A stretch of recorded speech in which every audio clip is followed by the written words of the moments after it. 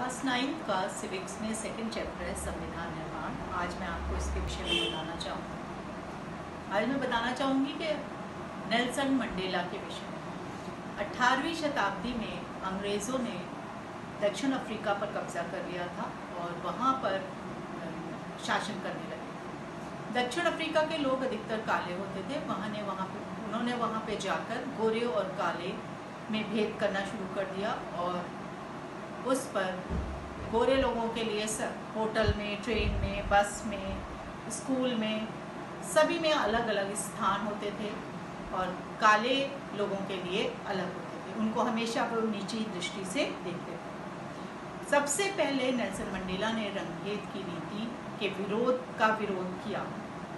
उन्होंने इस इसके खिलाफ आवाज़ उठाई, जिसके लिए उन्हें 28 वर्षों के लिए जेल में डाल दिया गया। इस प्रकार नेल्सन मंडेला का जन्म 18 जुलाई सन 1918 को हुआ था और वे रंगभेद की नीति का विरोध करने वाले प्रमुख नेता थे।